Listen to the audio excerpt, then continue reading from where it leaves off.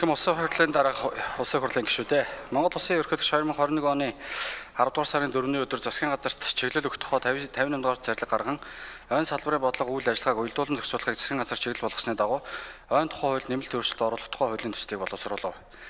Ойн тухай хууль 2012 оны 5 дугаар сарын 17-ны өдөр шинжилсэн хариулгаар батлагдсанаас хойш 9 жилийн хугацаанд 7 удаа нэмэлт өөрчлөлт оржээ. Ойн тухай хууль нэмэлт өөрчлөлт оруулах тухай хуулийн төслийг Монгол Улсын ерөнхийлөгчийн санаачлагаар зохион байгуулагдаж байгаа тэр бомод үндэсний хөдөлгөөнийг хэрэгжүүлэх хэрэгцсэн орчныг сайжруулах, төрийн захиргааны байгууллагын ажил үүрэг оновчтой уялдаатай байх, иргэн хуулийн этгээдийн ойн аж ахуйн үйл ажиллагаа эрхлэх боломжийг нэмэгдүүлэх, төрийн байгууллагаас олгох эрх зөвшөөрлийн тог бууруулах, шинжилэл хийх зорилгоор боловсруулсан.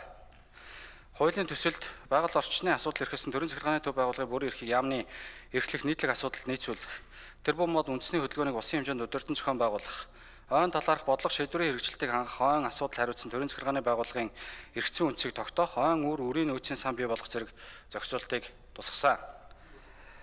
Ойн тухай хууль нэмэлт өөрчлөлт оруулах тухай хуулийн төсөл дараах ашиг хөтлөө гэж үзэж байна. Ойн асуудал хариуцсан төрийн захиргааны байгууллага байгуулагдсанаар ойн анги, ойн нөхөрлөл, ойн мэрэгжлийн байгууллагын үйл ажиллагаанд арга зүйн зөвлөгөө дэмжлэг үзүүлэх, үйл ажиллагаа ажиллагаанд нь хяналт тавих ажил сайжирна.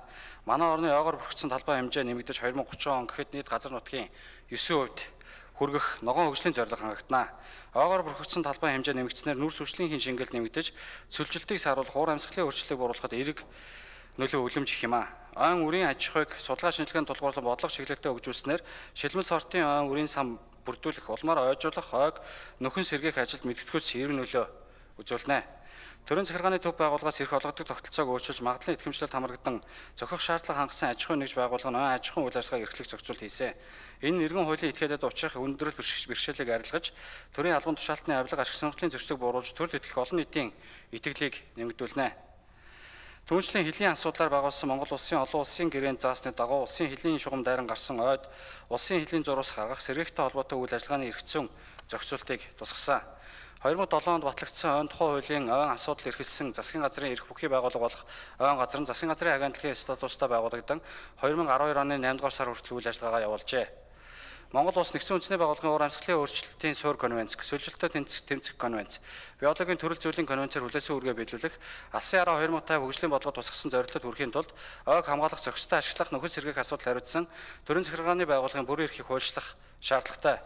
Ийм даваа асуудал хариуцсан төрийн захиргааны байгууллагыг хэрэгжүүлэх бүрэн эрхийн хуулийн төсөлд тусгасан. Мөн төрийн хөвчлийн түншлэлд тулгуурласан бүсийн аж ахуйг ой аж ахуйг хөгжүүлэх зохицуултыг орууллаа. Модлог ургамлын үр үржлийн материалын асуудлыг хууль тусгаалan заасан бөгөөд ойн үрийн гарал үүсэл чанар үрийн улсын нөөцийн сан, үрийн удмын сангийн хадгаламж байгуулах, судалгаа туршилтын лаборатори ажиллуулах эрх хэмжээг ойн асуудал хариуцсан төрийн захиргааны байгууллага хэрэгжүүлнэ. Нэгдсэн үндэсний байгууллагын конвенцийн дагуу ойн мэрэгжлийн байгууллагын магадлалын итгэмжлэлийг үе шаттайгаар нэвтрүүлэх ажлыг зохицуултыг тусгасан. Ой магадлал итгэмжлэл тавигдах шаардлага журмыг байгаль орчин асуудал эрхэсэн төрийн захиргааны байгууллага батлан мөрдүүлнэ. Ойн тухай хуулийн хэрэгжилтийн үр дагаварт үнэлгээ хийлгэж ойн салбарын ажилтан албан хаагчдаас судалгаа авсан болно. 2021 оны 11 сарын 8-ны өдрөөс 15-ны өдрүүдэд зохион байгуулагдсан салбарын үндэсний чуулганаас гаргасан зөвлөмжийн дагуу зарим хууль асуудлыг хуулийн төсөл тусглаа. Баярлалаа.